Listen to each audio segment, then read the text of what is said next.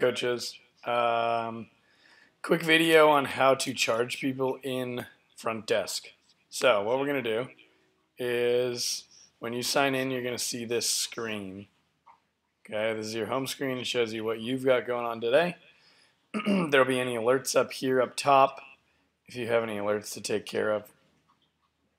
So if we have someone that wants to buy a retail item or um, sign up for a contract or purchase a punch card, we are going to do the following. We're going to go to store.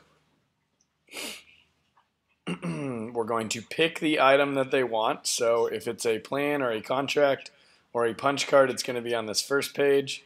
We got like one week unlimited, 12 months unlimited, 12 months, 13 days a week, uh, six months unlimited, blah, blah, blah, blah, blah. We got all our options up here that are our plans. Okay, some prepay options.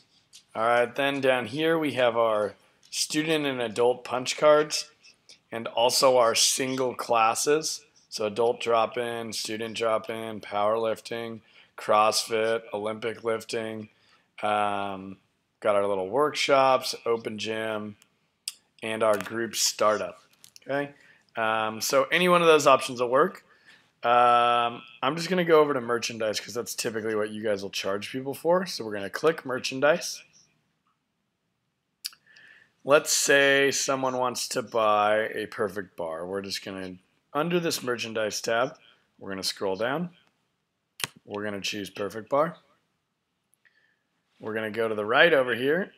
It says choose client. Now before I do that, say someone wants to buy two, you're just going to use this plus button to duplicate it.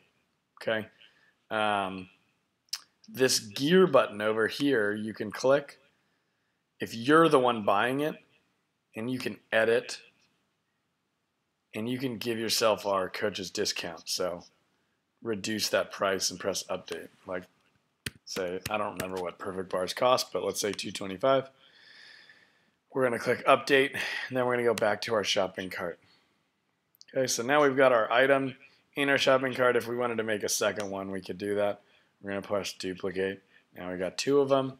Okay, they are independent items. If we want to add another item, say they want to kill Cliff 2, we're going to click add more items. We're going to go back to merchandise. We're going to scroll down till we see kill Cliff, single kill Cliff. We're going to click that. Now that's on our list as well. We're going to choose choose client. And let's say the client is I don't know, Steve. Steve Smith, we're going to click his name.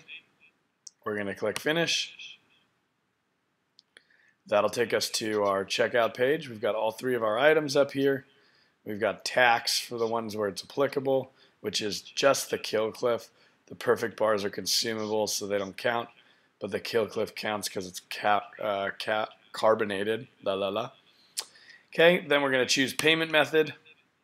Um, under here, we're going to choose Christie because their accounts are linked. Um, I should actually get rid of this one because Steven doesn't use it anymore. So we're going to choose his spouse. There won't be a name if it's the individual themselves that's paying. Then you're going to leave this receipt on so it sends them a receipt. And then you're going to click finish. That'll go through. It'll bill them. It'll send them a receipt. You're good to go. You're done. Okay? Uh, hope that cleared that up for you. If you have any questions, let me know.